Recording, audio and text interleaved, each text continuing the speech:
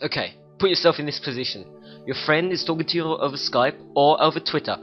Needs your help on a computer problem because you are the computer expert of your group there and something's happened to his computer. He needs your help over screencast so you can see what exactly to do. You do not have a screen recorder and you cannot record your screen to send him screen recording. So, what are you going to do? Well, I have found two sites that you will find very useful in this situation. First one is called Screenr.com. What this does is it records your screen and uploads straight to Screenr.com for instant screens screen instant screencasts for Twitter. Now you can create screencasts for your followers as easily as you tweet. Just click the record button and you'll have your ready to tweet screencast in seconds. Web-based recorder, nothing to download, record on your Mac or PC, that's a big bonus. This is flash based and it just records everything over any system. Uh, plays everywhere on the web, even iPhones, that's a bonus.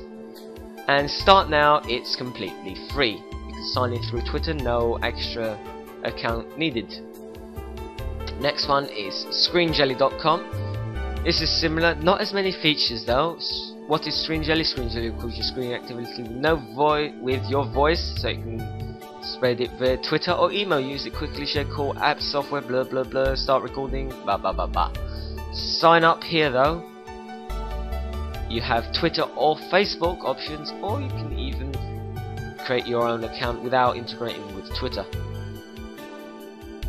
Now I do prefer Screenr it's it offers a bit more, a few more features, and I like its recorder and buffers slightly quicker. Well, for me at least. Screen Jelly offers a slightly more private approach. Now I'm going to show you how exactly they work. So sign in with Twitter. Allow this. And it has just been authorized. So we see Welcome Alpha Computing. I'm now signed in. And I can record a screencast for it all to load here. Important to keep this page open while recording and come back when you're done. That's a good tip. When done, click done button or Alt D. That's a cool keyboard shortcut. And here we go. It uses Sun Java, not JavaScript. This is a full Java program. And here we go. You can catch and move and resize this frame. Here we go. I can resize here. As you see the audio is working here, I can select a different audio source and a different capture size. And when I hit record, we see it starts a countdown. And I'm now recording my screen. I can move it around and now I can begin telling giving people my instructions. And once I'm done, I have a 5 minute limit, which is plenty of time.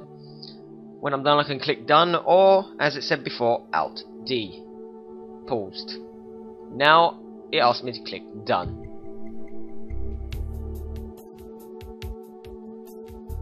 Here we go, instant. Here's a preview of your screencast.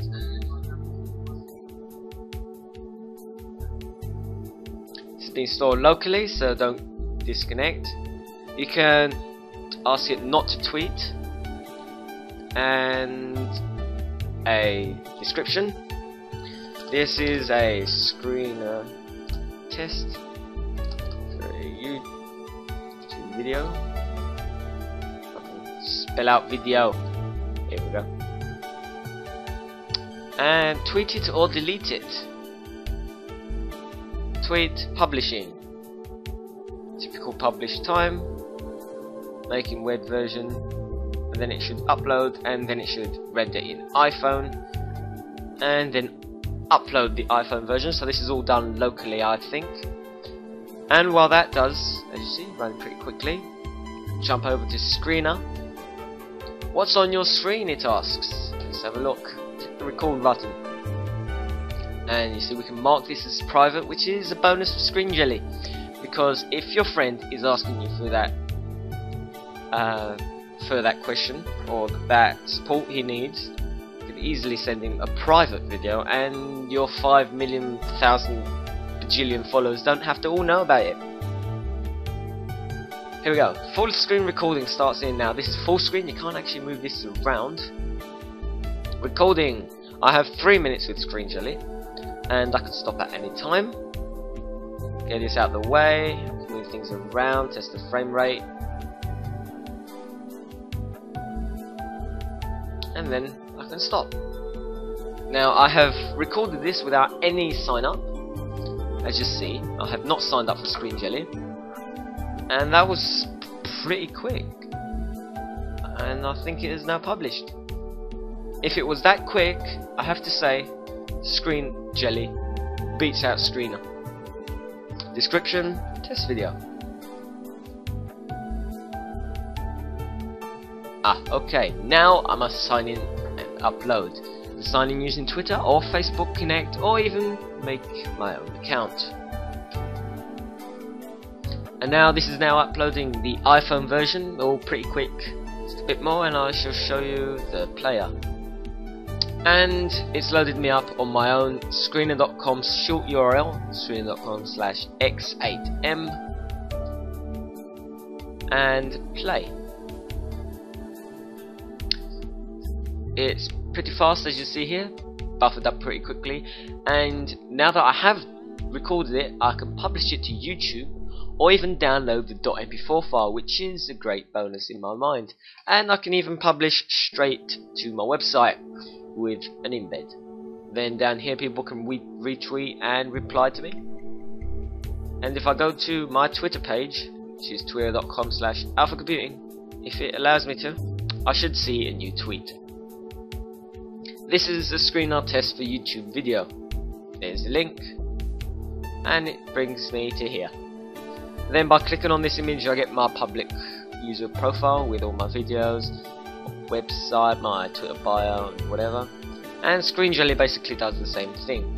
Here we go, we can click on someone's video. Yes, leave this page. There's no description for this, and here's a video. Linda McDonald, we can click on her public profile and these are all her videos and what she's actually watched. So, that is how to support your friend in need. And this has been the video by alphacomputing.net and things are falling around me.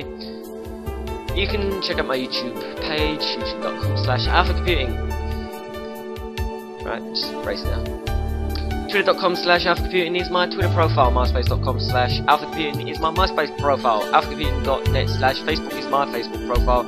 And friendfeed.com slash alphacomputing is my friendfeed profile. And finally, google.com slash profile slash alphacomputing.net is my Google Buzz page.